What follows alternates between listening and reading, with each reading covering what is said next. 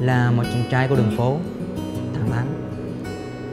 Cuộc sống của anh rất là đơn giản và nó không có quá nhiều điều đặc biệt. Nhưng nói như thế không có nghĩa là cuộc sống của anh nhạt nhòa. Anh luôn tô điểm cho bức tranh đời mình bằng những gam màu ấn tượng nhất. Với anh, thích là làm, yêu là phải nói.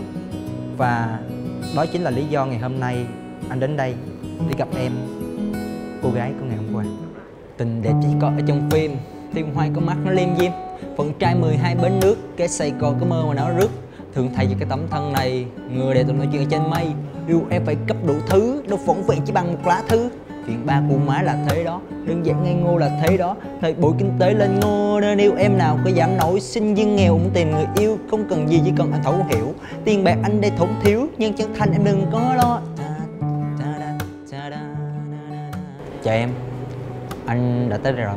Em đã sẵn sàng chưa? Mình gặp nhau nhé.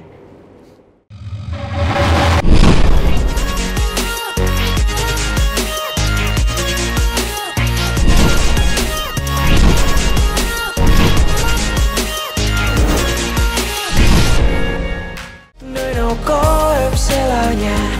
Chẳng cần kiếm chi ở đâu xa. thế gian vũ trụ hoàn mỹ.